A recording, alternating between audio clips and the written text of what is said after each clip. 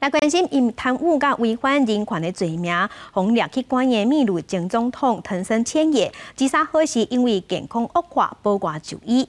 秘鲁现任的总统库辛斯基，雄雄伫咧在在宣布讲被特赦藤森。经过两天，昨昏藤森的脸书顶头嘛有放一段影音来感谢即马秘鲁的总统，嘛祈求伊的人民会当原谅，这嘛是藤森头一届对秘鲁大众回视的。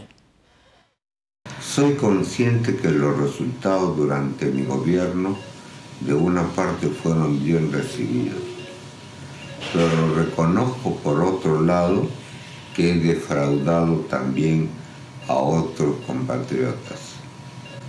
A ellos les pido perdón de todo corazón. 去年七十九岁的秘鲁前总统藤森，因为贪污甲违反人权的罪名，被判刑二十五年。